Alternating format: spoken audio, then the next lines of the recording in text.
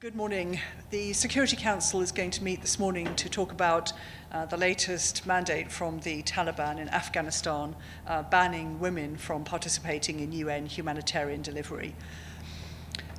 It's an appalling thing. Two out of three Afghans depend on humanitarian aid. Uh, and the UN could not and should not have to depend on being able to deliver aid effectively without women. And more importantly, I think it shows us again that the Taliban is placing medieval misogyny above humanitarian need uh, in Afghanistan. So we'll uh, look forward to those further discussions this morning.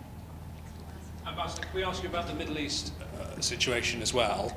Um, as you've seen, uh, the situation seems to be getting worse and more tense. Yeah. Is it time for the Security Council to send us a strong message to Prime Minister Netanyahu about the violence that's happened at Al Aqsa Mosque?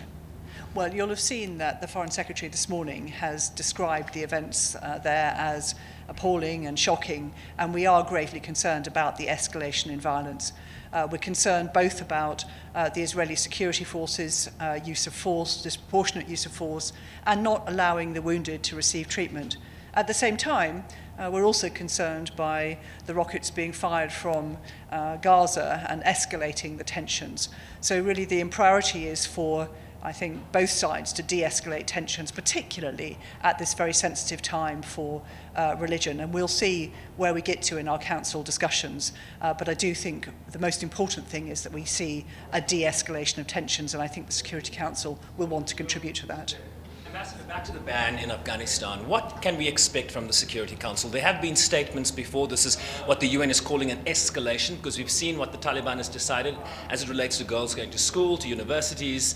Uh, there have been statements from this council that essentially have been ignored to date. So, what can this council deliver on this in, in, in terms of impact on the ground?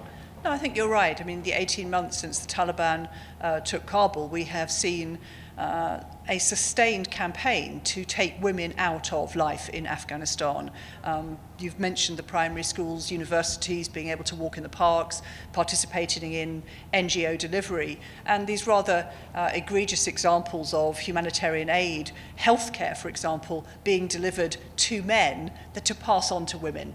Uh, so the Council will continue uh, to try and get a clear picture of events, to work through uh, the UNAMA and uh, the SRSG as well, but we do need to keep the pressure on the Taliban to prevent them excluding half of Afghanistan's population from uh, life, not just public life, but from life altogether. UNAMA um, has said it before, and you just talked about the pressure, but the Taliban are seeking recognition. Do you think that would be something that the Council or your country would consider in a near future? I think it would be very hard to uh, recognize the Taliban as a government over the whole of Afghanistan. They are excluding women uh, from society in general, and that's not, a, uh, that's not an acceptable first stepping stone uh, for recognition. But I know that recognition is important to the Taliban, and when we have the meeting uh, later this month of the special envoys, we hope to find uh, a way through so that we can talk to the Taliban about ways in which uh, steps they would need to take uh, in order to uh, move towards uh, recognition. But we have to get humanitarian aid in. We have to get women playing a role in society again to help that. Will the UK reconsider its aid funding for Afghanistan over this? Will you decide, will you, might you cut some funding? We have already uh, cut our funding to Afghanistan, but we are uh, very caught because, as I said, two out of three people in Afghanistan are desperately dependent on humanitarian aid. Uh, so we are trying to fulfill that need, working with partners, um, at the same time as making sure that we do not uh, give anything that would give the Taliban reason to think that they can carry on uh, in this medieval way. So it begs the question then, Ambassador, what does pressure look like? If aid shouldn't be withdrawn, right, given the need that we, we know to be on the ground, what then must be done? What does pressure really look like?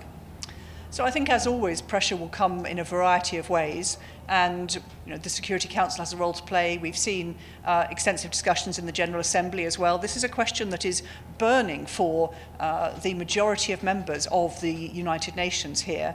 And then there are key regional players, the neighbours around Afghanistan, and the strategy needs to be put together uh, to try and turn around this situation. Thanks very much indeed.